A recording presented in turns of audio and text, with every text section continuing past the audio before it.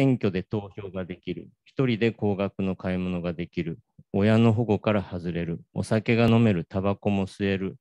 競馬競輪もできる。なんか罪を犯したら少年法じゃなくて、もう刑法で処罰される。であとは成人式で二十歳でお祝いということだったと思うんですね。で、二十歳になれば一人前ということでした。ところが、最近その大人の意味が変わりつつあります。すでに選挙については18歳から投票できるようになりました。で一方で、えー、高額の買い物ができる、あるいは親の保護から外れるっていうのが18歳になるということになっている。でさらに、そのお酒が飲める、タバコが吸える、競馬競輪、少年法、このあたりはどうなのかとか、あるいはその成人式でお祝いもをどうするのかっていうような話も今出てきているところだと思います。で今日取り上げる民法の成年年齢っていうのは何なのかっていうと、今ここでまあ仮に7個挙げてるわけですけれども、このうちの丸2と丸3、1人で買い物ができるっていうのが、えー、18歳からできることになった。から親の保護から外れるのが20歳じゃなくて18歳からになったと。この2つなんですね。で、この民こういう民法の成年年齢を引き下げることが、えー、平成30年6月に成立した民法改正法で決まっていて、えー、その施行が来年4月1日ということになっているということです。で、ですね。で、えー、民法の成年年年齢の制度についてですけれども、まあ、そもそも民法っていうのは何かってことですが、まあ、これは皆さんご存知だと思いますけど、まあ、私的な、私的な権利義務関係について定めた一般法ですね。で明治29年に公布された法律で、まあ、それがそのまま生きています。あのもちろんいろいろな改正があったり、昔はカタカナでしたけど、今、あのひらがなになってますけど、あるいはその親族、相続なんかは戦後に大きく変わってますが、基本的なところはずっと一緒だと。で、民法では成年っていうのを定めていて、今現在は20歳ですね。年齢20歳をもって成年とすると。で、この満20歳に達しないものは未成年者ということになります。で先ほど述べたように、未成年者は何ができるか、何ができるかと失礼、その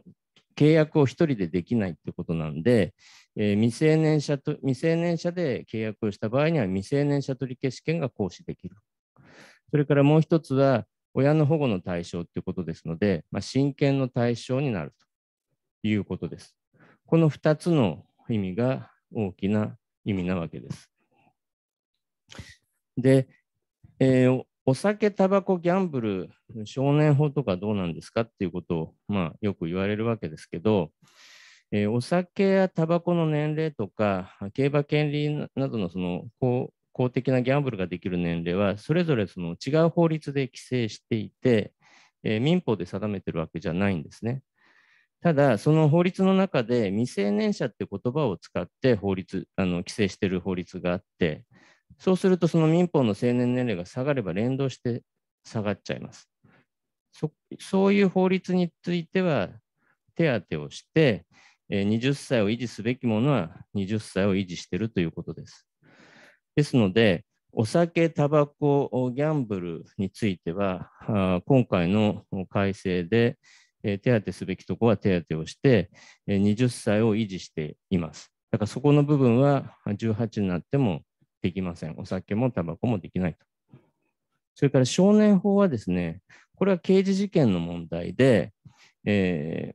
ー、少年法の中に少年の定義があって、20歳に満たないものと定めているので、民法の成年年齢には連動しません。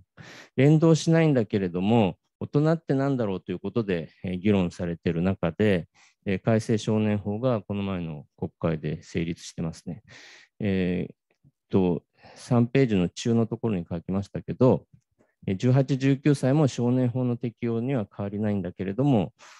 特定少年ということで、え、扱いを少し変えたということになっています。で先ほども述べましたけれども、民法の成年年齢18歳引き下げ法案というのが平成30年の通常国会で審議されて可決成立しています。で、それが2020年4月1日から施行。うん、実にその3年10ヶ月も、成立してから3年10ヶ月も施行までの期間がある。これはあの法律の成立施行という関係では異例の長さですけれども、十分な準備期間を置こうということで、そういうことになっています。で、えー、ところが、ところがっていうか、その3年10ヶ月もあったのに、もう9ヶ月を、残り9ヶ月を切っているっていうのが今ということです。で、まあ、あのじゃあ分かったと。じゃあ18に引き下がって、まあ、選挙もしてるんだし、18それなりに判断力もあるから、えー、いいんじゃないのと。諸外国も18みたいだしということも言われるわけですけど、何が問題なのかというところですね。で、この5ページの第3に書きましたけれども、先ほど出ました未成年者取消権っていうものを18歳、19歳、この人たちは成年になっちゃうんだから、これは使えなくなってしまうってことが大問題です。ここがとにかく肝ですね。で、5ページのところに契約の基本というのを書きました。でこれは当たり前のことですけど、法律上の約束ですよね、契約っていうのは。で、意思の合致で成立して、それによって権利義務が発生します。これもう皆さんご存知だし、そんなの当たり前とおっしゃると思うけれども、一応ここが基本だからさらおさらいしておきますね。で、例えば売買契約でスニーカーをお店で1万円で買う場合に、店は売りますで、お客さんは買いますと。で、売買契約が成立して、それは書面がなくてもいいけれども、成立すれば、スニーカーを引き渡す義務がお店に生じ、お客さん、お客の方はスニーカーを受け取る権利があると。で、お店は代金を受け取る権利があって、お客は代金を支払う義務がある。これまあ当たり前に日常生活で、別にスニーカーじゃなくたって、えー、お菓子でも何でもいいんですけど、えー、日常生活で売買契約が成立して社会が成り立ってるわけですね。で契約したら、理由もなく辞めることはできないわけですね。約束したんだから。ここに書いてある通り、自分で意思表示したんだから、それは縛られても仕方ないと、そういうルールになってます。やっぱりいらなかったと、この色が気に入らないから変えてくれということはできないわけですね。変え、変え、あの、実際には変えてもらうことができたりしてますけど、それはお店の方がじゃあ変えましょうかって、そこで新たに合意してるわけですから、一方的には変えることができない。これが契約の大前提、基本ですね。で未成年者取消権というのは何かっていうと、未成年者は1人で契約ができない。えー、法定代理人の同意が必要だということです。で法定代理人っていうのは、あ要するにというか、まあ、多くの場合は親権者、えーまあ、両親がいる場合は、両親になります。で未成年者っていうのは、判断能力が乏しいと自分でいろいろ判断して契約をするとかしないとか、あるいはその内容を決めるとかいうことができないので、えー、一人で契約できるその民法上は行為能力と言いますけれども、行為能力を制限して未成年者を保護するということです。それはその賢い16歳もいるだろうし、ぼんやりした22歳もいるかもしれないけど、えー、もうそこはあそういう法律上、ちゃんあのきっちりと線を引いてしまって、今は20歳で引くということをしているわけですね。じゃあ、親権者、まあ、その法定代理人、両親の同意がない場合はどうなのかっていうと、それは取り消せる。これが未成年者取消権です。要するに、説明が間違ってたので誤解したとかですね、え、強引に勧誘されて、え、買いたくないもの買っちゃったとか、そういう理由は何もいらないわけです。何の理由もなくて、未成年だったということだけで契約をやめることができるっていうのが未成年者取消権です。例外定めてあって、え、っと単に権利を得る、まあもら、もらうとか支払い免除とか、あるいは、えー、親からその目的を定めて処分を許した場合、定期代として渡されたとか、あるいはお小遣いとして目的を定めないでその処分を許した場合とか、こういう場合は、えー、同意がいらない場合があるわけですね。だから子どもたちがコンビニでアンパンを買うという場合には、えー、売る方もですね、もしかすると取り消されるかもなみたいなことは思わなくていいわけなんですが、そういう制度になっているということです。で、これが今の未成年者取消権のその制度の概要ですね。一方で、え若者の消費者被害っていうのが、まあ、今になった話じゃありませんけど、ずっといろいろ多発してるわけです。さっき、まあ、石渡さんの方からあの紹介があったりしてますけれども、いろんなそのクレジットなんかも絡みながら、いろんなあの被害が起きています。でここに若者にありがちな被害っていうのをちょっと並べてみましたけれども、えー、キャッチセールス。街で呼びかけられ、呼び止められて、アンケートがなんかされてですね、えー、ちょっと事務所に来ないとか言って事務所に行って、そこでわけのわかんないものを買わされる。それからアポイントメントセールス。あなたが当選しましたとか言ってですね、呼び出されて、えー、なんか買うつもりじゃなかったのに行ったら、高額の商品の契約だったなどということもありますね。からあと、マルチ商法ですね。深刻な問題としては、若者に特に特徴的な被害としては、マルチ商法、友人をその販売組織に勧誘して、それでお金がもらえるんだというようなことですよね。で、これはその人間関係、友人関係、あるいは先輩後輩関係なんかから、あどんどんこう広がっていくという深刻な被害で、これも昔からありますね。からエステとかの美容サービス、安いサービスだって言って、言ったらまあうまく関与されて高額だ契約しちゃう。それと最近はインターネットでの商品購入ですね。えーまあ、あるいはその、ここには商品購入って書いたけれども、情報商材みたいな口頭向けなものを買わされるような契約も若い人に被害が多かったりします。でどうして若者被害に遭うのかっていうことですけど、まあ、自分たちが若かった頃かのことを思い出せばいいだけのことですけど、まあ、社会経験足りなくて判断力が足りない、人間関係の影響を受けやすい。それからまあ最近はまあスマホで情報がいっぱい入るようになって、えー、スマホっていう自分の手の中にと社会がもう直でつながっちゃってるわけですね。それで被害に遭うということになります。でこういう被害がま多発するわけだけど、被害の救済をどうすればいいかっていうと、要するに今契約しちゃったわけだから、契約関係をなくせばいいわけですよね。契約なくせば代金支払わなくてよくなるし、支払った代金を戻してもらうということです。そこで、えー、威力が発するのが未成年者取消権なわけですね。であの今まで話してきた通りですけど、未成年者取消権は民法っていうその私法の一般法に定められているものですから、別にその消費者被害を救済するための制度として作ったわけじゃなくて、未成年者というちょっと判断力が乏しい人たちを保護しようということで作ったものなんですね。ところが、えー、消費者被害について、えー、まあ、絶大な力を持つと。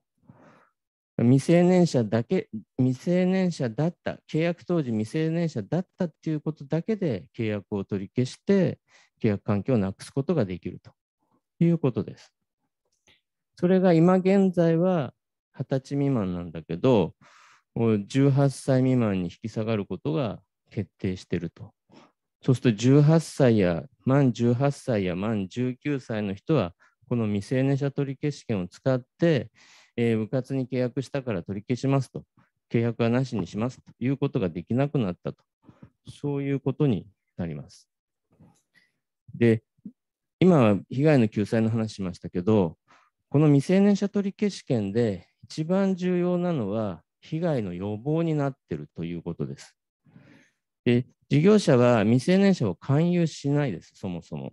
苦労して勧誘してですね、契約させて、後で、いや、未成年者、未成年でした、すいませんって取り消されちゃうんだったら、あ何のために苦労したか分かりませんので、えー、そもそもターゲットにしません。だから今、20歳まではそもそもターゲットにされません。で消費者被害の鉄壁の防波堤なんて言われますけど、えー、被害に遭わないようになってる。でそれが18歳に引き下げられることになるということなんですね。今までは20歳までは狙われないので、被害っていうのがあまり目立たないわけですね。だから未成年者取消権ってあんまり皆さん認識してないと思うんです。消費者センターなんかに聞いても、未成年者取消権で、えー、解決した、消費者センターのその少額のレベルだと、まあ、それなりにありますけれども、例えば弁護士が依頼を受けてですね、未成年者取消権で救済できたなんていう事件はあんまり聞かないわけです。ほとんどないんじゃないかと思います。それはそういう予防になるので、そもそも被害が生じないんですね。でそれが18歳に引き下げられるということです。そうするとですね、えー、18歳ってどういう年齢かっていうと、高校3年生の4月から4月生までのあの高校生からあ18歳になっていくと。高3の3月までずっとあの誕生日ごとによって18になっていくそういう年齢ですね。そうすると、まあ、高校卒業したときには必ず青年だということになります。と高校卒業時、まあ、大学に進学する、就職する、上京するとか転居するとか、いろいろ生活の大きな節目があって、いろいろ希望にに溢れてたり、あるいは逆に不安も抱えたり、そういうような時に、業者のターゲットになってしまうっていうのが、今回の引き下げになります。で、あの、未成年者取消権を使えない成年年齢、えー、青年になってですね、未成年者取消権を使えなくなった場合は、えー、未成年者取消権じゃない他の制度で、えー、救済をしたりするわけですけれども、まあ、えー、20歳を過ぎてもですね、えーなかなかそんな簡単に判断力がつくというわけでもなくて、えー、ふらふらしているような若者、若者だけじゃなくて、それなりに年がいってもふらふらしている人は山ほどいますけれども、そういう人はどういう保護保護制度があるかというと、ここに書いてあるように、クーリングオフとかですね、あるいは消費者契約法っていう事業者と消費者契消費者との契約の一般に適用がされる消費者契約法っていうのがありますけど、そこでの取り消し権とか、そういうものがあります。だけど、これらはどういう勧誘されたのかとか、どういう取引だったかっていうような問題が前提にあって、えー、それをいろいろ要件を当てはめて取り消したり、無効にしたりしなくちゃいけないので、とても大変です。未成年者取消権なんかのこう非ではなくて、えー、やっぱり契約をなくすということは、それはなかなか大変だということですね。だからまあ成年になった以上は責任を負いなさいと、そういうことになっていてなっている制度で、えー、その青年の線引きが20歳から18歳に引き下がるということが起きようとしているということです。で、まあ、ここまで話あの制度のことを話してきましたけれども、ちょっとその立ち止まってというかですね、えー、なんで今、民法の成年年齢の引き下げなのかということですね。これもあまり知られてないような気がします。でそこをちょっと簡単に説明しようと思うんですね。で、えー、20歳成年っていうのは、実はもう140年前からずっとそうです。これ明治9年の太政官布告っていうので、えー、これは青年じゃなくて定年っていう、えっと、甲乙平定の定ですけど、定年20歳とすっていうのがあって、その後、民法が制定されて、それを引き継いでいて、ずっと今、今日現在まで変更がありません。今あの、自分の親も、さらにおじいちゃん、おばあちゃんも、みんな二十歳で成年になってきたということが現状ですね。でそれを今なんでこのこのタイミングで引き下がるんだろうっていうことですね。でこれはあと2007年のですね国民投票法の成立に端を発しています。国民投票法は、これはあの憲法改正のための国民投票法をですね、憲法改正の条文あるけど、国民投票の手続きがなかったので、えそれを作りましょうということが2007年当時行われていて、その際に憲法改正というようなその国のその基本に関わるものについては、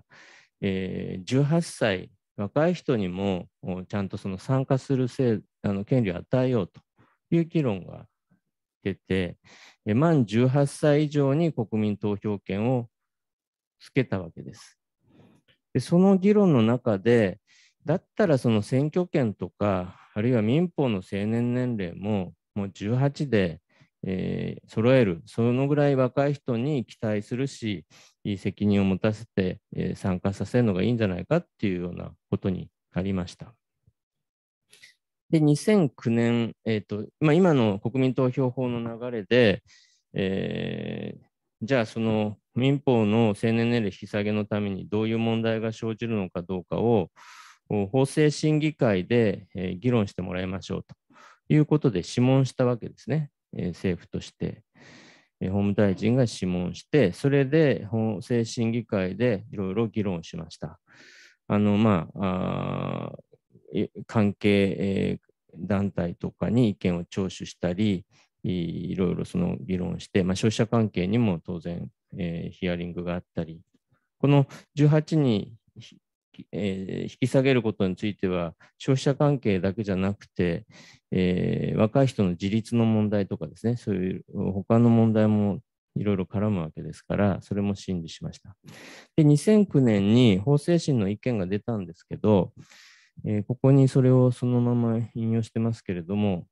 結論はですね、民法が定める成年年齢を18歳に引き下げるのが適当だという結論でした。ただですね、ただしが書いてあって、ここがとても重要なわけです。ただし、現時点で引き下げを行うと、消費者被害の拡大など様々な問題が生じる恐れがあるため、引き下げの法整備を行うには若年者の自立を促すような施策や消費者被害の拡大の恐れ等の問題点の解決に資する政策施策が実現されることが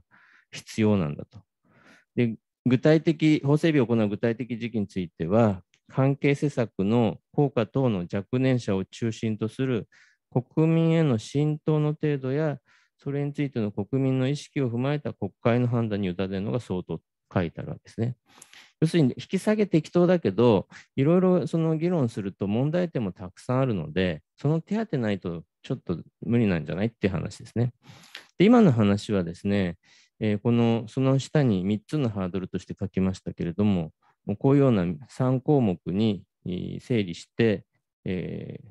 今から話す国会の中では議論されました。若年者の自立を促すような施策、消費者被害の拡大の恐れを解決する施策が実現されること、施策の効果が十分に発揮されること、施策の効果が国民の意識として現れることということだったわけです。で、えー、その後ですね、今の2009年の話ですから、その後、選挙権の方も議論された上、こは公職選挙法改正で18歳になって、実際に選挙なんかも行われたわけですね。で、それが2016年7月に参議院選挙を初めて18歳以上で選挙したんですけど、その2016年の秋ぐらいから、えー、次は成年年齢の引き下げですねということで議論しようということの動きが始まりました。で、2017年1月には内閣府の招集あまり行われてなくてですね、2013年に内閣府調査してるんですけど、成年年齢引き下げに賛成かどうかみたいなことで聞くんじゃなくて、18歳、19歳の者が親などの同意がなくても、1人で高額な商品を購入するなどの契約をできるようにすることに賛成かっていう質問すると、反対、やや反対で合計で79.4%なんですね。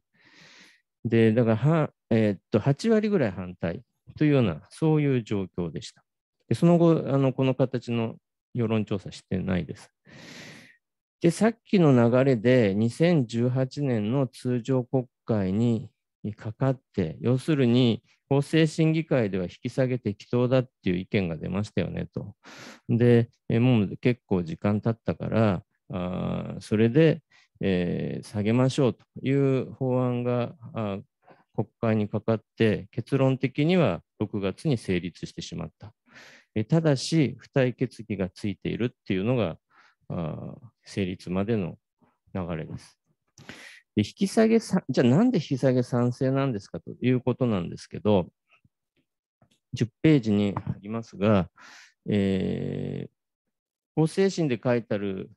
内容では、将来の国づくりの中心となるべき若年者に対する期待だと。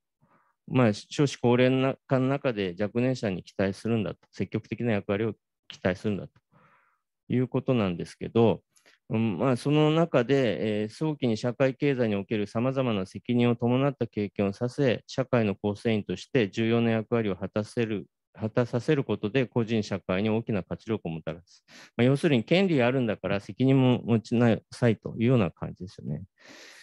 それで、えー、あとまあ契約年齢引き下げたときには、まあ、働いて得たお金も自分の判断で使えるというようなことも言われたりしました。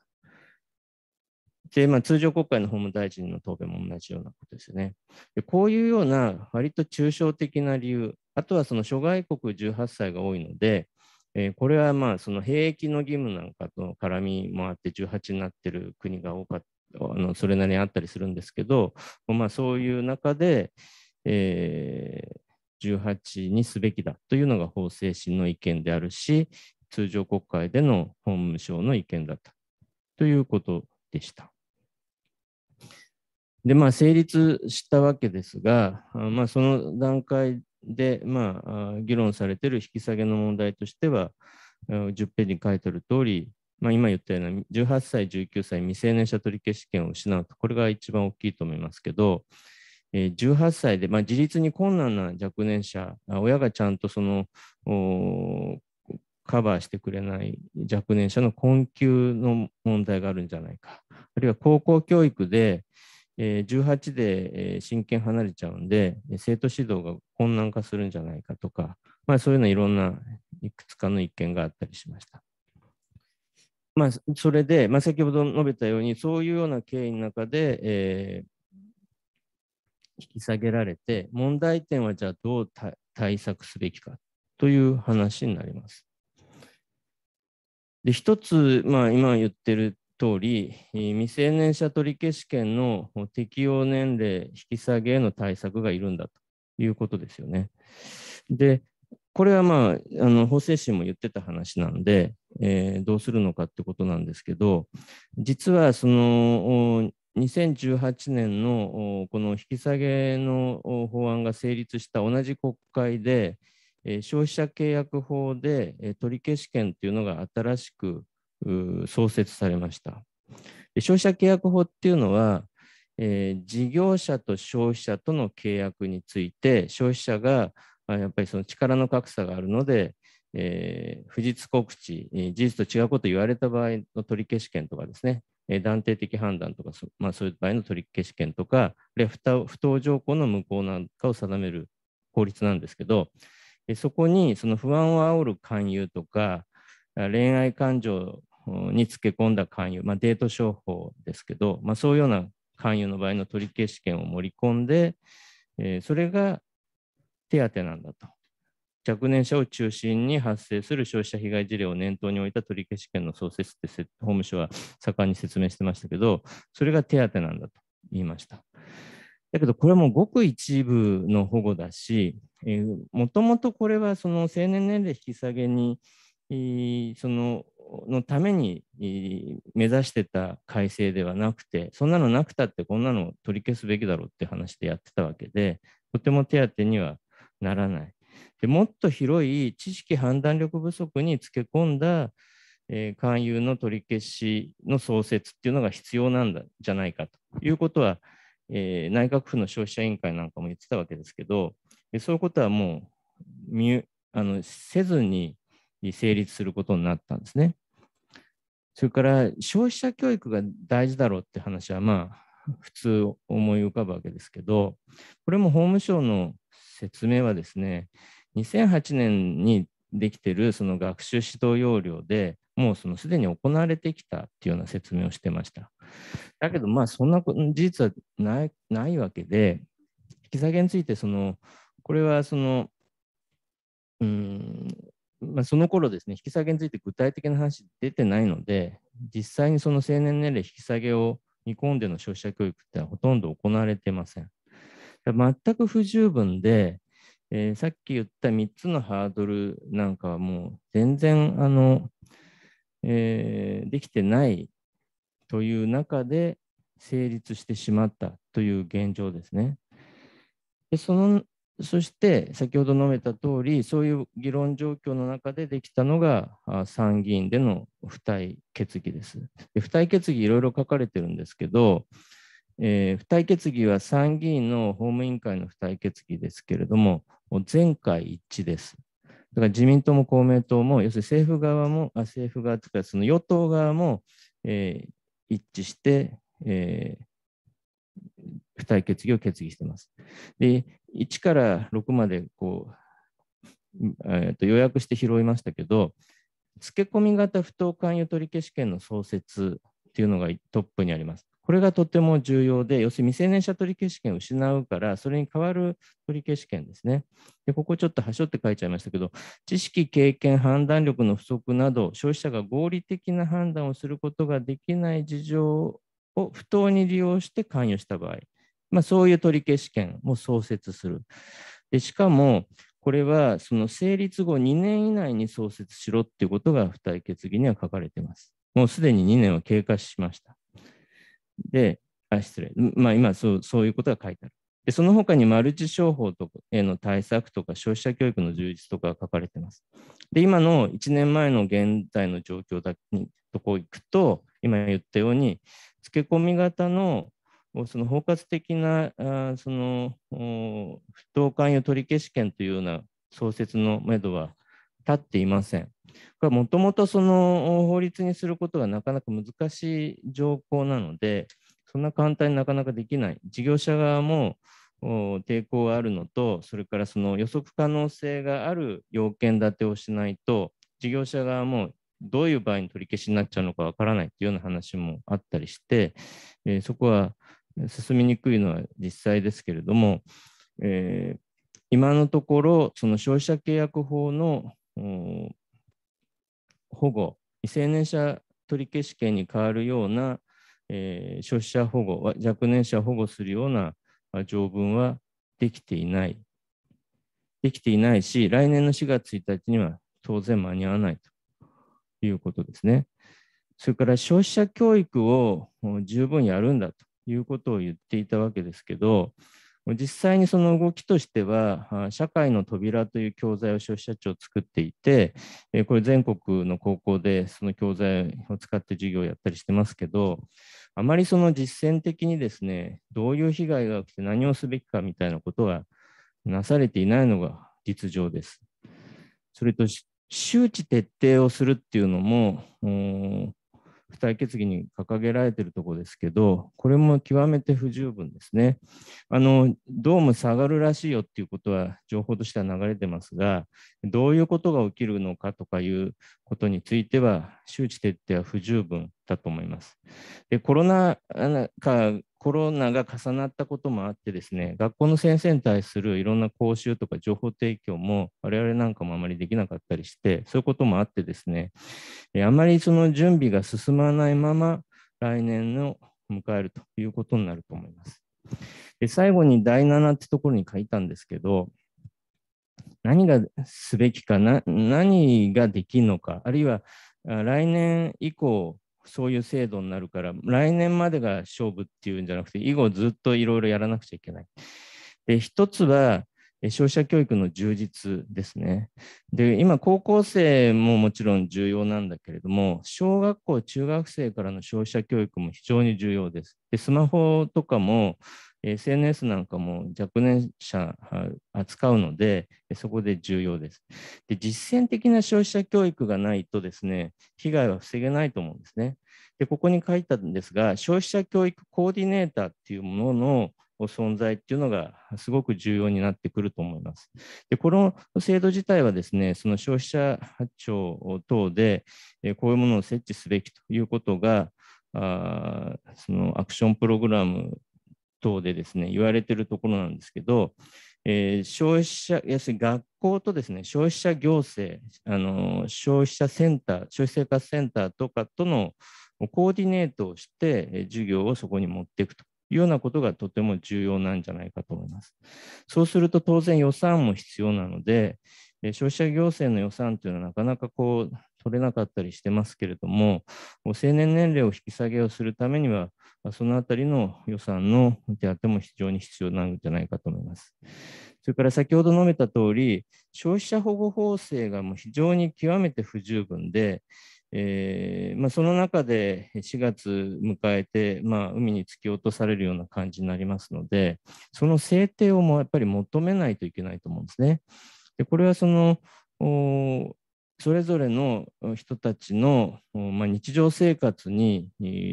もう密接に関与する話だから、それを保護を単純に外すだけで、えー、施工に行くということ自体についての問題意識を持たなくちゃいけない。で本当は手当ができないんだったら、施工は延期すべきじゃないかぐらいのことを言ってもいいんだと思いますね。えー、なので、今のこの消費,、えー、っと消費者契約法の改正の問題、そういう手当ができていない、その手当をしなくちゃいけないということが国会で散々審議されているのにできてないという状況の認識をすべきだと思います。それから、あとは、あのここには書かなかったっていうか、ちょっと書き漏らしですけど、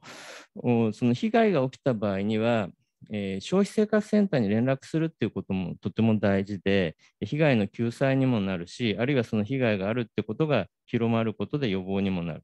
でその番号として188っていう番号を消費者庁が、えー、設けています。まあ、119番とか110番と同じようなことで188。でこの周知がやっぱりまだあまりされてなくて、今若い人ネットで調べて自分で解決しようとしちゃいますけど、そうするとかえって二次被害なんかに遭いますので、188の周知をしてほしいということです。で、まあこれで大もう時間切れなんですけど、やはりですね、えーと、この間ずっと活動してと思いますけれども、若い人がその社会に参加する18歳を大人として認めようよっていうこと自体は賛成します。大賛成だし、若い人の斬新な、えー、視点で社会を変えていくってことはあの素晴らしいことだし、と思います。だけど、そういう権利を与えるんだから、お前たち責任を負えよと、その契約なんか自分でやって、そのうかつだったら自己責任だよっていうのは違うと思うんですね。そうじゃなくて、若い人はそういう経験不足だからいろいろ失敗もあるかもしれないけど、それはちゃんと社会がサポートするんだから、えー、十分活躍してくださいよっていうのが本来あるべき社会の姿であって、それは大人が、え、立法とか行政の中でちゃんと手当てしなきゃいけないことだというふうに思います。我々さっき言った通り、今あのいる成人はみんな二十歳から成人になってます。まあ、婚姻理性で若くして結婚した場合は、その特例がありますけどね、基本的に二十歳になって初めて保護が外れるっていう人だけが大人になってるわけなんで、それを今の若者にはですね、厳しいこと言って、お前ら18から責任を得よっていうこと自体がおかしいわけで、そこの部分を十分認識して、いろいろ行動提言とかしていただければと思います。ちょっとそういうことで終わります。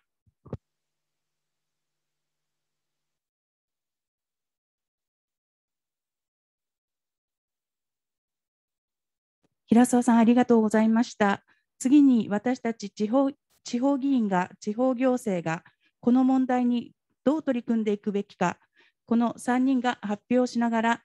皆様にご意見をいただきたいと思います。まずは、船橋市議の朝倉さんに、ご自身の一般質問を例に、地方議会でこのテーマを取り上げる方法や意義について発表していただきます。朝倉さん、よろしくお願いいたします。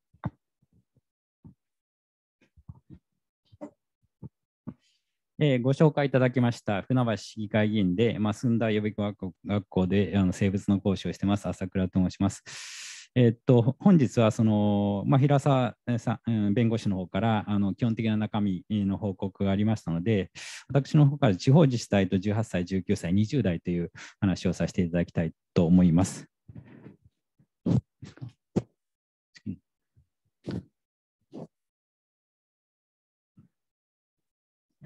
えっ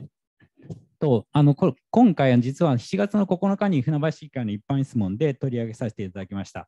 で、その様子はすでにあの皆様に共有したあのアドレスの方から12分の録画記録が拝見いただけます。そして簡単な議事録もあの会議に作ってありますので、そのままその、えー、各自治体の実情に合わせて変換して質問していただければ、一般質問成り立つようになってますので、ぜひご覧ください。で、この録画記録の中には、基本的に議場で配布した資料などなども入れ込んでありますので、えー、まあ、内容面はぜひ後でご覧ください。ということで、ちょっとあの、私自身は実はあの、えー、議員になってから18年なんですが、えー、実は32年、34年間か、あの予備校講師をやってきましたので、えー、では今、議員になっても少しだけ続けておりますので、18歳、19歳と付き合い続けた人生を歩んでまいりました。で、えっと、そういうことで、まあ、今回、この問題に対して、やはりあの個人的な経験からも思い入れがあるんですが、あの実は、えっと、予備校の中でその、まあえー、高尾山の観察会とか、水生生物観察会とかやりましたし、それから、実は医学部を主に教えていたこともありまして、あの女子差別の問題、東京医大なんかの女子差別の入試の不利益の問題っていうのは取り上げられたと思うんですが、その時私あの教えていて感じたのは目の前にいる子どもたちとってどうなんだろう。実は東京医大が救済措置であの実は何人かをその受け入れると、えー、不当差別をした人。でそうすると実はその時の、えー、東京医大のあの合格枠が減るんですね。そうすると目の前にいる生徒たちが実は合格の枠が減るから全国の医学部全体でその東京医大の追加合格分を補填すべきじゃないかということで厚生労働省あ文部科学省に、まあ、石渡弁護士あのさんの、えー、ご協力を得ながらしたこともありまして18歳19歳にはずっと付き合い続けてまいりました。これあそれで、実はあの地方議員から見ますと,、えーと、選挙の参加ということで言いますと、すごいあのあの大きな傾向がありまして、18歳、19歳は、実はあの、まあ、主権者教育が行われてますので、投票率比較的高いんですが、20代が非常に低いんですね。で、だんだんと子育てを経験して、だんだん高齢者になっていくと、だんだんと投票率が上がっていくということです。で、それも含めて、18歳から29歳の、に対する政策は、国全体というか 地方自治体の中ではどうしてもあの、位置づけが低い状態になってるんじゃないかと思います。一つは高校が市区町村管轄ではなくて、まあ、都道府県立が私立になるので、まあ、地方自治体はやっぱり市区町村があのの議員が多いので、えー、弱くなってるんじゃないか。それから私も学習サポート児童養護施設、母子生活支援施設に関わってきましたけど、その18歳、19歳のその、まあ、今、移行措置が若干設けられてますけど、えー、成人になった後はあの保護が弱くなるということの問題、そしそれから大学生についても今、二極化が進んでまして、自宅でその親の庇護下に結構コロナもあっている方もいる一方で、単身で下宿されている方がいるんですね。そうすると単身の下宿の人は住民票を、えー、親のもとに置いている方が多いので、実は船橋に例えば日大とか、あの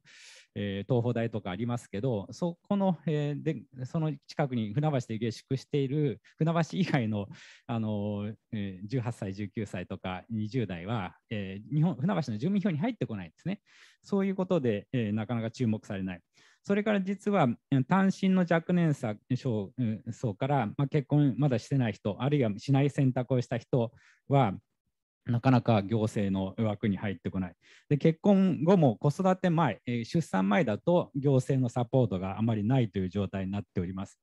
でそういうことで、この層に対する政策を地方議員としては重視していかなきゃいけないんじゃないかなと思い始めております。でそういう中で、実は今回、えー、この、えー、千年年齢引き下げのもん、えー、に対する対処の問題と同時に、非選挙権の引き下げを求める意見書というのも出しております。まあ、これはこれからが議決になりますけど。で実は、えー、もう一つ地方自治体にとっては、えー、ちょうど今年の秋から冬にかけて国勢調査、2020年の国勢調査結果が出ると思うんですね。まあ、現時点では2015年のしかないんですが、船橋においては、実はこのちっちゃな、右の方にちっちゃな字で書いてあるんですけど、単独世帯は9万6335世帯35.5%ということで、実は単独世帯の比率が増えてるんですね。で、その単独世帯というと、1人 ,1 人暮らし高齢者を思い浮かべるかもしれませんけど、今、調べて、ぜひ各自治体調べていただきたいんですけど、単身でその20代、30代で働いたりして、単身でまあレオレオパレス的なところに住んでる人が結構増えてるんですね。でそうすると自治体としてはそこら辺を、えー、見な見なきゃいけないんじゃないかという問題意識を持っています。はい、で、いよいよ、ああで、まあ、議員のインターンシップもやっております。はい、いよいよじゃあ本題に入りますけど、あの本題のこの移民法改正問題に関しては、え実際に当事者の年齢がこういうことになるんですね。で、私はできるだけ、え実感していただきたいということを思ってますので、各その相当学年をこういうふうにイメージしてるんですが、大学1年、今、大学1年と高校3年生が、ちょうど2022年の4月1日の1日だけで2学年いっぺんに成年になるということになります。でこの移行期について、えー、特に配慮が必要じゃないかなというふうに思っております。それであの実際、後で12分の動画をご覧いただけば分かると思うんですが、えー、国民生活センターの被害、えー、状況の調査、えー、特に4月8日公表の狙われる18歳、19歳、金と美の消費者トラブルに気をつけてのデータを議場に配布して、議員50人と理事者、あの後ろに控えている人も含めれば50人以上がこれを、えー、閲覧するという形で質問をさせていただきました。で、その中で、まあ、特に強調したのが被害額ですね。やはり18歳、19歳だと5万円未満が多いけれど、あの20歳から24歳だと50万以上が多くなる、えー、こういう深刻な問題が起こりうるということを強調させていただきました。それであのじゃあ船橋も全くやってないかかったかというと少しやり始めてまして大人社会のパスポートというのはこれ千葉県が作ったものですけど、まあ、千葉県が作ったものを中学3年生に全員配ってるということをあの答弁の中で述べられましたので全くやってはいないわけじゃないけれど、まあ、実感としては先ほど平沢弁護士の方から言われましたようにコロナの関係もあって全体的に学校が閉じていたこの2年間ですのでなかなか消費者教育が行き渡ってないんじゃないかなと思います。で最後にですが、えー、私が質問の最後の中で発言をした、えーあの今の一番の問題が20歳の成人式あの各自治体ほとんどが20歳に成人式固定する選択をしております。えー、しかし、えー、実際の成年年齢になるのはえー、18歳の誕生日ということで、成年になる日と成人式が分離するんですね。今までは成人式に、あのー、あれをやれば、あの未成年の注意をすればよかったんですけど、成年年齢と成人式が分離するから1年半ぐらいのギャップが出てくると。で、その時に、やはり成年になった瞬間に市から郵送通知で成人、成年のお祝いやあのそれからあの自覚を促すことと、えー、その消費者以外の、えー、防止を、えー、郵送したらどうかということで。でまあ、あのパンフレットも含めて郵送代含めて150円かけるとしても船橋市民の、えー、各学年5000人ですから75万円でできるということです。でこれ特に2022年の4月の2学年の移行期にやるべきだ。でこれは本来国がそういう郵送通信費用を補助するような形、今回ワクチンは、えー、国の、えー、郵送通知の補助が出てますので、えーと、そういうこともやるべきじゃないかと思います。それからもう一つはやっぱり政治家として市長がやはりあの18歳になった瞬間にあの自分の自治体のあの青年に対してお祝いのメッセージを出すということとともに消費者被害を防止するというのは政治家として判断すればできることではないかと思いますのでそれを最後に訴えさせていただきましたということです。はい、どうもご清聴ありがとうございました。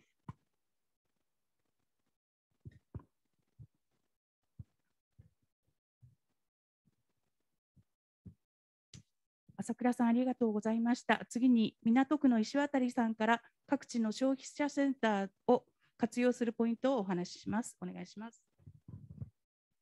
はい、それではあの私の方からは各地にあのあります消費者センターをぜひこれ活用していただきたいということでお話しさせていただきますが、先ほど朝倉議員の時にちょっと画面がトラブルで最初固まっておりましたことを失礼いたしました。後であのかなりよくまとまったあのレジュメですので見ていただければと思います。今、あの実は今日私がですね、こちらにあのしてきているのは画面で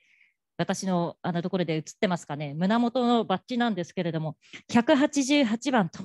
書いてある、あのイヤヤンというキャラクターなんですけれども、おそらくこのあの今参加されてる30人の中で、このキャラクター、イヤヤンを知ってる人がどれだけいようかと。私、あの議員になってから町会とかいろいろな会合でもうずっと話をしてるんですけど、188番の番号を知ってる人もいなければ、このイヤヤンを知ってる人は全くいないと、こういう恐るべき状態であります。あの先ほど平沢弁護士からもあのお話ありましたけど、188番の周知というようなことは、実はあのセンターということではなくて、あの議会とか行政の側から、あの私どもが中心となって消費者センターの意義つまり、この民法の成年年齢引き下げとか、若年の消費者被害を抑止するためには、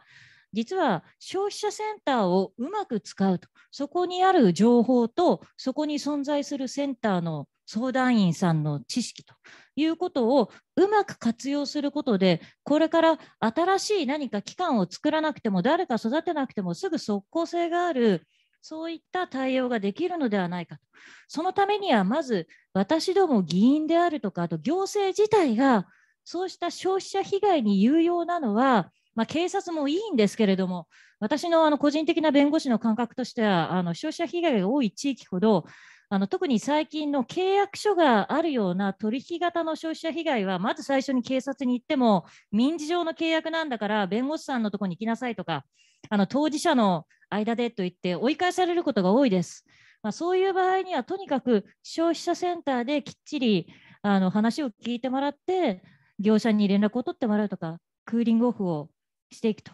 いったようなことも含めて、あの消費者センターの活用方法を行政がしっかり知ること、これが大事なのではないかと思っております。そのためのあのポイントといいますか、先ほどは朝倉あのさんの方からあの議会質問をうまく使うというようなことがお話にありましたけれども、議会質問というだけではなくて、日々の活動の中から、実はそういった消費者センターの機能をうまく地域に落とし込んでいくというつなげる役割で言うと、我々地方議員ができることが相当程度大きいというのが私のあの感覚です。例えば、先ほども言ってます、若年層への若い世代への消費者教育の推進役こちらとしてセンターを活用するというのは、実は教育関連機関、学校現場と消費者センターをつないでいくという、そういった役割があの議員ならではできるんじゃないかと思うんです。やっぱりあの未成年の今言った問題は何か、学校現場において実践的な消費者契約を充実させる、これが第一で、まあ、これは政府もいろいろやっているんですけれども、とにかく学校は忙しいので、例えばセンターの方から働きかけをしようとしても、じゃあどこに働きかけるのかとか、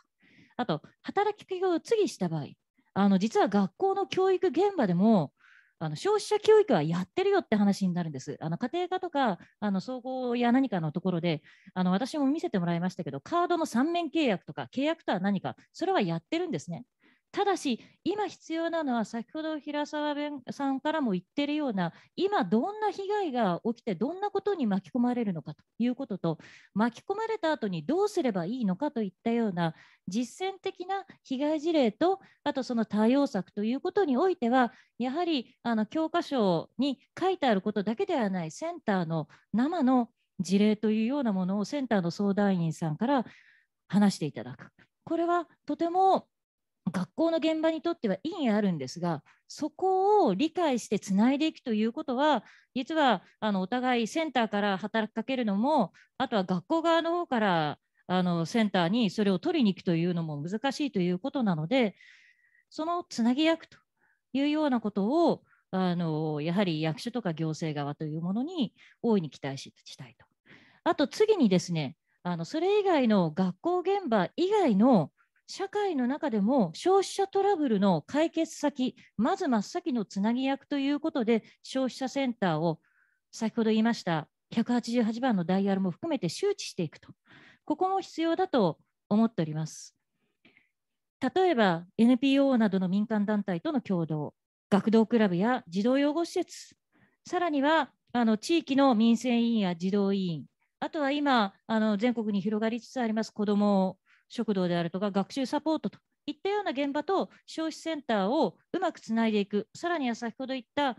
あの最寄りの市町村につながる188番、こちらのダイヤル周知と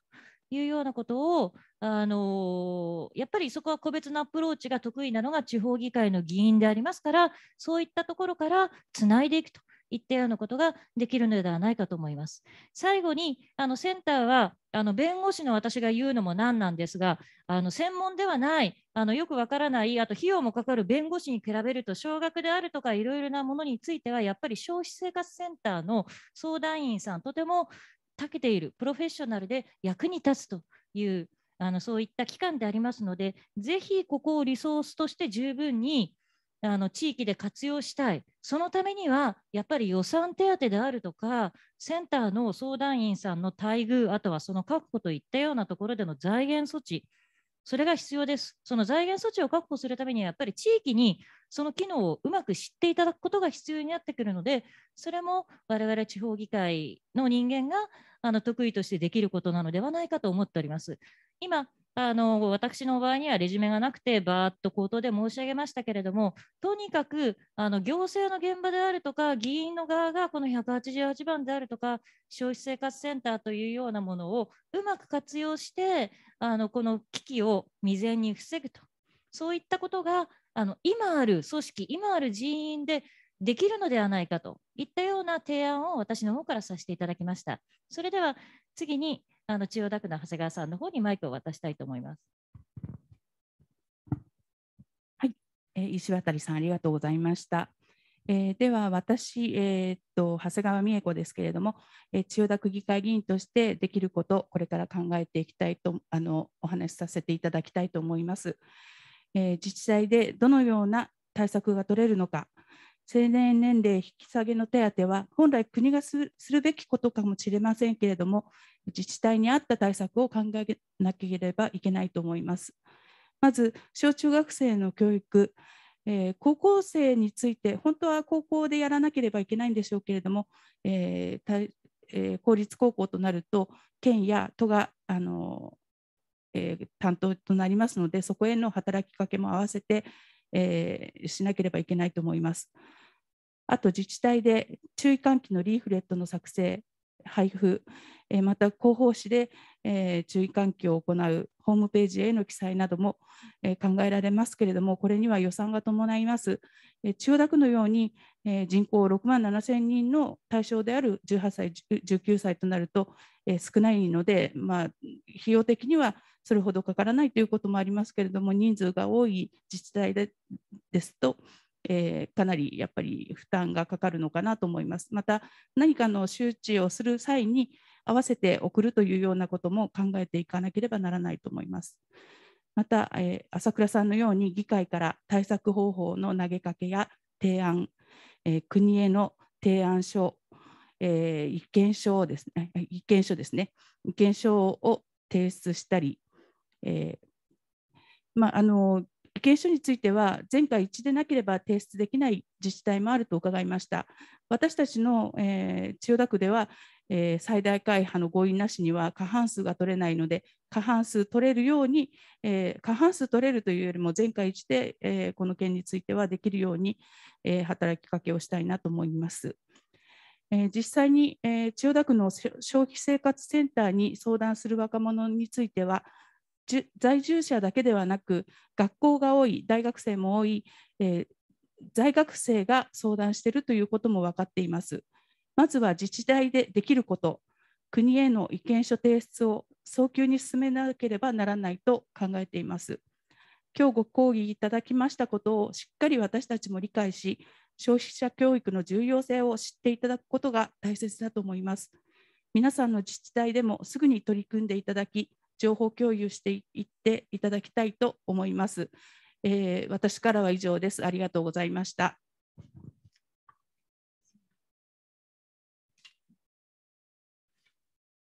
はい、えーと、では次に質問に移らせていただきます。えーと、質問については。えーと、チャットの方にはあのご質問がないんですけれども、え、今届いている質問についてあのお話、えー、と先生あ、えー、と平沢さんから、えー、ご回答いただきたいと思いますので、ちょっとお待ちください。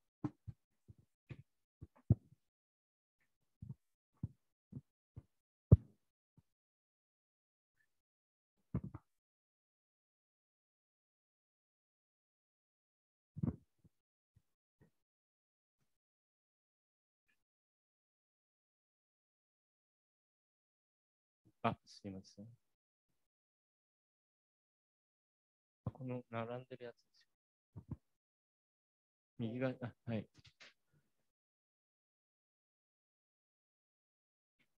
あえっと、あれですかね。まあ、一番上の質問は、えっと、子供が勝手に契約することにとても不安を感じていると、事前に気づくコツあるのでしょうかというようなことですね。うんとなかなか難しいですけれども、結構勝手に契約することは多いんじゃないんでしょうか。っていうのは、あのスマホを利用して、えーと、決済して、今、そのカードじゃなくても決済法手段がたくさんあるので、えー、後払いとかでできちゃったりします。だからあの今、今日話してるのは18、19がどうとかいう話してますけど、中学生、高校生とかでも、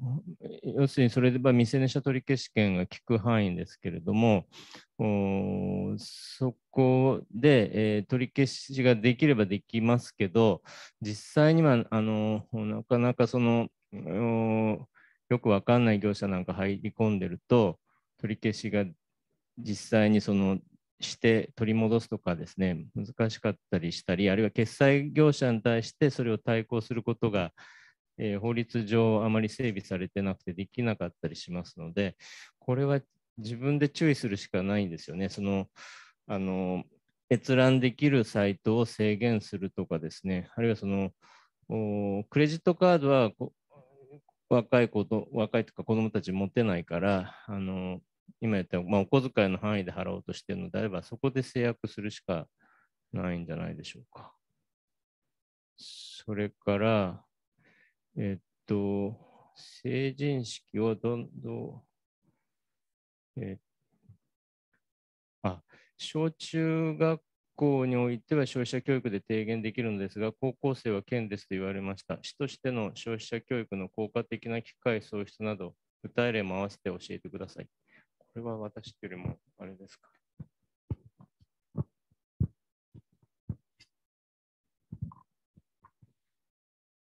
えっ、と、あの、今の意見はですね、あの高校になってしまうと都道府県であの市町村基礎自治体の側からどういうふうにあのそういった消費者教育を充実させていけばいいかというご質問がありました。で同じようなあの質問がですね、今度逆の立場から、目黒区のあの海伝さんからもいただいておりますけれども、例えば基礎自治体から答弁をもらったとしたとしても、まあ、高校生になってからいいんじゃないかと。いうようなことで、小中学校からの消費者教育の重要性というようなものをどういうふうに役所とか社会が共有していけばいいのかというような、あのそういったご質問もあります。それで特効薬というのは、私もちょっとあの調べてみてもなかなか思い当たらなかったんですが、一つがですね、あの先ほど平沢さんのお話の中にはもありました、今、各地であの、はいまあ、設定されている消費者教育コーディネーターですね。この消費者教育コーディネーターという人にいろいろ連携するあの学校であるとか地域である、そこをつないでいって、あのいろいろ消費者教育を実践的に動かすということが期待されているんですが、そもそもこの消費者教育コーディネーターさん、何をやってるのということも含めて知られてないというのがまだ実情ですから、まあ、一つはこの消費者教育コーディネーターの方々に活動していただく。一つの例を挙げますと、えーと、例えば長崎県の事例になりますけれども、教育機関との連携をあの主に狙っているようで、元高校の校長先生をこちらのコーディネーターと採用して、あの極めて学校機関との連携がうまくいっているということを聞いております。あとはですね、あの消費者教育というところをさらに広げて、消費者センターとのやはり地域とのつながりをもう少し広げるということであれば、例えばイベントであるとか広報誌といったようなところで、あの親子連れで体験できる消費者センターとのつながりのツアーを、例えば近江八幡のあのセンターさんとあと行政さんが一緒にやっていたりというようなことがあります。消費者教育というふうにくくってしまうとなかなか教育現場の壁ということがあるんですが、あのその前段階として消費者センターというものの活用方法をもっと自治体の方で考えると。で、それのために私はあの港区で話をするときには一番はですね、消費者被害は放置すると後でとても社会的コストがかかるんです。あの実はですね、あの刑事手続きや何かというのは、一部のお金を出して国あの市選弁護人を頼める方は別として、全部国選弁護というような形で行政の財が投入されますし、刑事手続きもすべてあの税金から賄われております。さらには、その後刑務所に行ったとしても、それも税金です。社会的コストが多大にかかってしまうところで、騙されたらどうというよりは、やはりあらゆるところから未然防止をしていくのが、これが行政の役割ではないかと。いうことにおいては、特に先ほど申し上げているように、小中学校からスマホを使うんですね。そういった形では、あのスマホの中に今は、いや、お財布がある、お金があるような形になっておりますので、スマホ決済が進展していますので、ある意味、お金の使い方とか、スマートフォンの使い方といったようなところ、そういった道具の使い方、デバイスの使い方と合わせて消費者教育というようなものが重要であると、そこと一緒に抱き合わせでするというようなことも、まさに議員の皆様にはやっていただきたいと思っております。次に質問があのもう1点ありますので、これは平沢先生にお願いします。えー、っと、この大きな変化を多くの方々に問題意識を持って共に考えていただくために何ができるか教えてください。なかなか難しいところですけれども、えー、っとずっとこう関わっていて、えいろんなところで発信してますけれども、あまりにもその知られてないというのが現状ですね。で、あのーうん今、今、今日話したようなことっていうのはもう基本の基本なんですけれども、えー、立法当時からいろんなところで話してますけれども、あまり、っていうか、ま、全くとは言わないですけれども、広まっていないです。で、えー、やはり何が起きるのか、一番大きいのは未成年者取消権がなくなってしまうっていうところがあまりにも知られてないと思うんですね。えー、結局その日、さっきも話しましたけど、今、たくさんの人がですね、未成年者取消権で俺も助かったよと、うちの子も助かったよあの言ってるんだったらあ、それなくなっちゃうの大変だねってことですけど、見えてないわけです。これはあの予防されてるから見えてないわけで、えー、そこがとても怖いわけですね。えー、蓋開けてみたら、こんなことだったのかと、今までどれだけ守られてたんだっていうことなわけですよね。だから、えーそういうことを例えばその地方の議会であの浅倉さんがやられてましたけれどもその質問して何や何をどういう候補をやってんのかとかですね。あるいはその小中学校に対して何かその発信ができるのであれば言うのかとか。結局子ども若者もそうですけど親が直接関わる話ですからいろんなところでその行政が発信するってことが、えーとても大事ですね。であのそれからまあ繰り返しになってしまいますけれどもその法的な未成年者取消権を失うことの法的な手当はできません。できてないまま来年の4月に行きます。で法務省とか国の説明は、いや、あの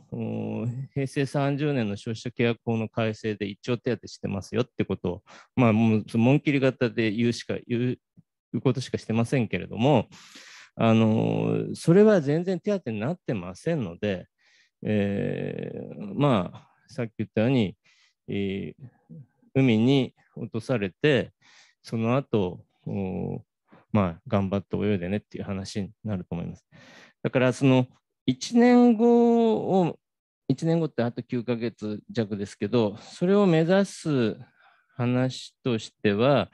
この契約関係の保護ができてないんだけれども、どうすべきなのかっていうことを議論すべきかなと思いますけど、実際にその施工が伸びないのであれば、施工した後は、被害の状況をちゃんと的確に把握して、あるいはま国民生活センターなんかは、それを追っかけるために先ほどの情報なんかも出して、20歳からこんだけ増えましたってやってますので、今後は18になったら増えましたっていうことを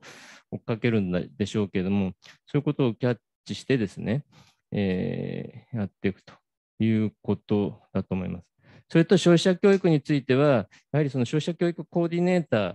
えー学校教育の中にその外部の知識、知見を入れて、えーその教育するっていう、この消費者教育コーディネーターの設置とか、それについての予算を取るってことがとても大事なんじゃないかと思います。東京都は、えーそれをやろうとして、え都として、え今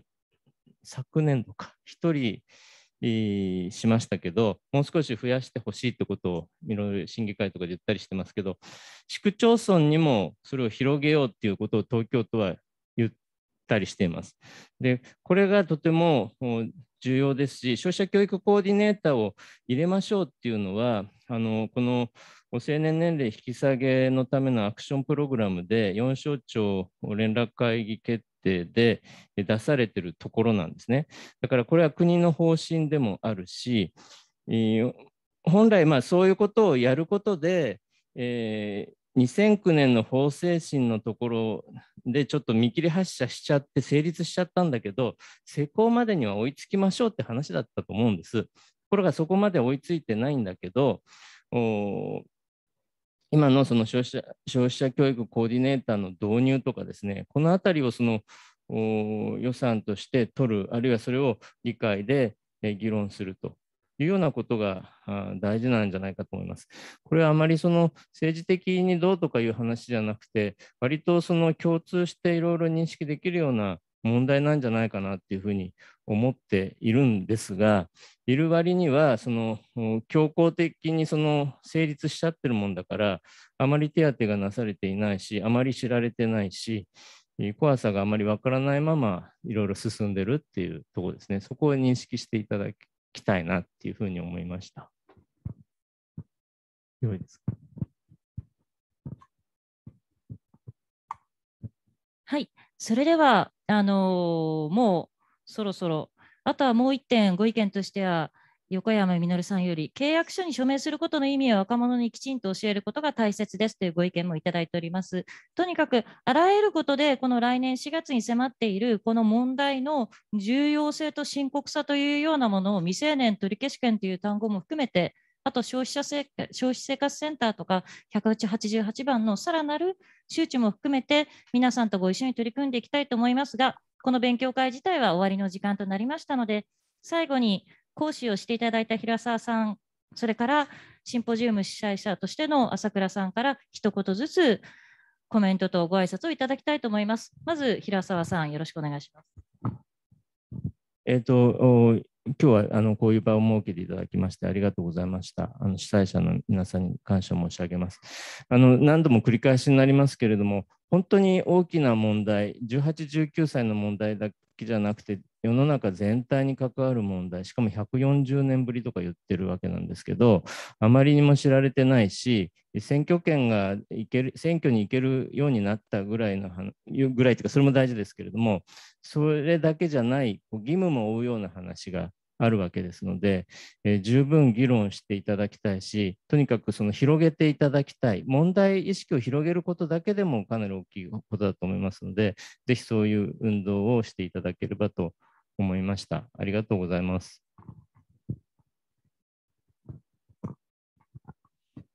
どうもありがとうございました。えっと、まあ、あの、2つあると思うんですね。あの、まあ、当面2022年の4月まで何ができるかという話と、まあ、それ以降の話があると思うんですが、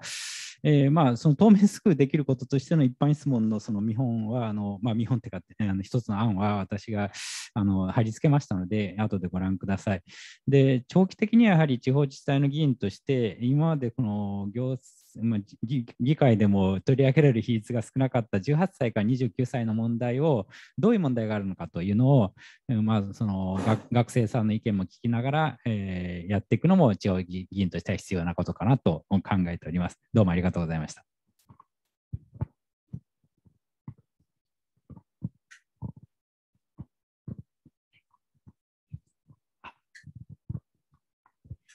はい、それではあの1時間半、ちょうど11時あ59分、あれですかね、あの大体の時間通り、忙しい皆様のお時間をいただいての勉強会にご参加ありがとうございます。できれば、こうした勉強会を各地でもあの各地にですねあの弁護士会ありまして、弁護士会の中の消費者委員会、プロボノ活動として、この問題にはあの取り組んでおりますので、そういったところと連携を取りながら、勉強会という形でも何でも皆様の地域で落とし込んでいただければと思います。その言葉であの今日の勉強会、締めさせていただきたいと思います。ご清聴ありがとうございました。